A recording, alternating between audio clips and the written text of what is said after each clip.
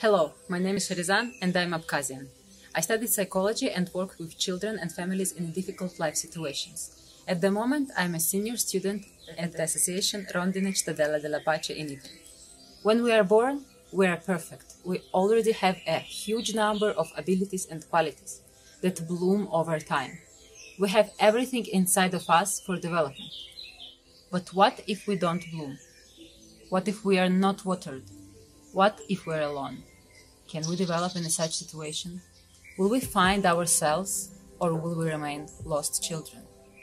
It is this phenomenon of people lost in adulthood that screams about that we need to start to be more attentive to ourselves and to others. My project is called Open Laboratory.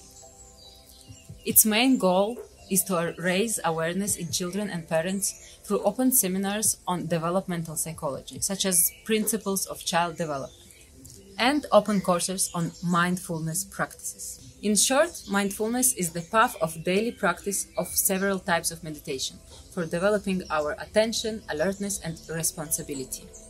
A path that can open for us a beautiful world in ourselves and change our life for the better.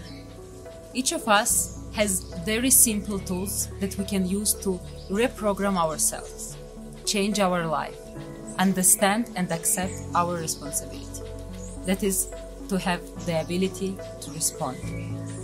Because only that done rises to which we ourselves have awakened. Thank you.